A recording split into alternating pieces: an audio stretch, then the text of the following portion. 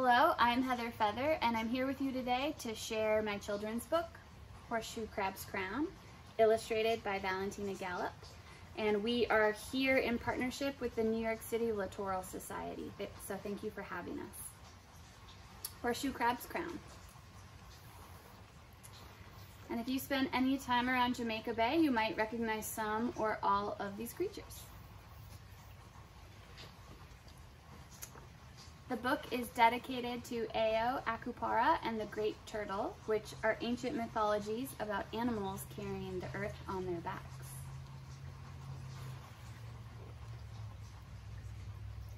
In all of its days and all of its ways, the earth has seen many, many creatures.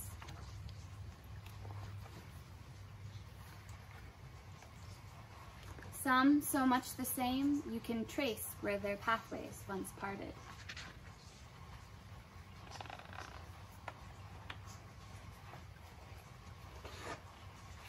Others, so strange and striking, they will leave you in lasting awe.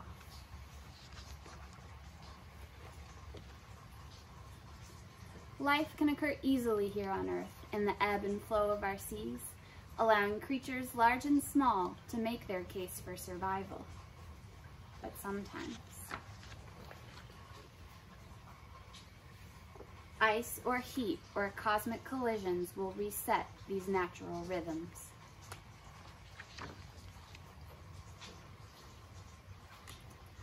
65 million years ago, eyes deep in the sand, horseshoe crabs slept, missing the asteroid that entered the Earth's atmosphere, forever changing the life that lived there.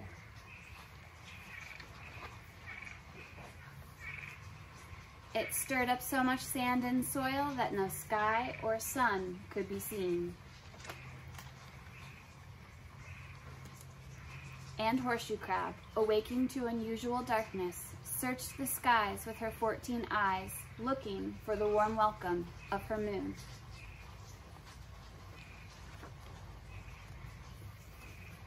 Ten legs took her to shore where large beasts had once wandered. Now only darkness reigned about her, and no matter how hard she swung her powerful telson, she could not move the clouds from the air. Back into the sea she wondered, what to do, what to do. How could Horseshoe Crab bring back her moon. And with not much more to offer beyond the strength of her shell, off she went to find some help.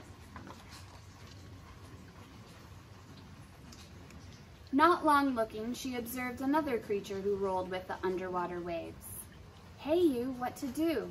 How do we uncover the moon? Opening only slightly, Mussel whispered. I can help. I can. I may not walk.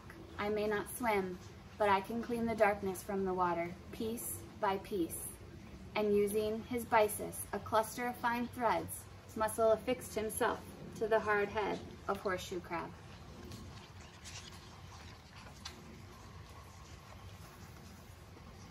Their collective journey was only a few steps in when they heard a chorus of voices. Hello, hello, us too, said barnacles, clustered only a few feet away. We also can filter the silt from the sea. They waved their feathery cirri until Horseshoe Crab crawled to them, and binding their bodies head first to the surface of her shell, they began doing their part, piece by piece, to uncover the moon.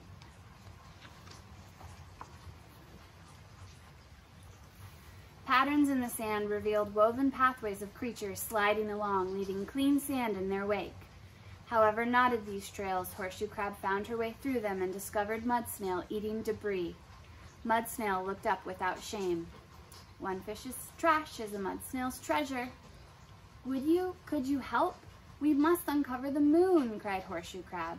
And without hesitation, Mud Snail joined the journey, each animal doing what they do best to uncover the moon, piece by piece, bit by bit. As the water became clear, they saw a boisterous beast dragging his home behind him. Hermit crab knocked on every shell and surface and slurped every substance off of every grain of sand. He exclaimed the earth's new beginning. You seek the moon, I see, he said with slender eyes. Mussel and barnacles will clear the water, and I will help Mud Snail clean the sand, but who will clean the air? Not entirely knowing, but feeling certain nonetheless, Horseshoe Crab assured Hermit Crab, The more we look, the more we'll find. Piece by piece, bit by bit, little by little. And the marine friends moved ahead in the murk with only their hope to guide them.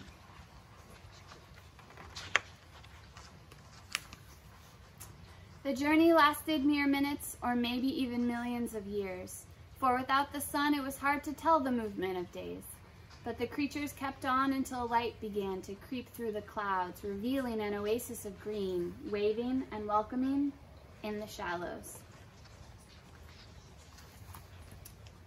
We work together to uncover our moon, exclaimed Horseshoe Crab, excited for the promise of the planet. Eelgrass whispered its delight. We want this world to thrive.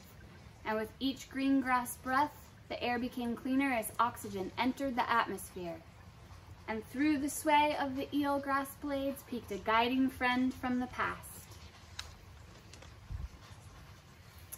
Piece by piece, bit by bit, little by little, breath by breath, they had uncovered the moon.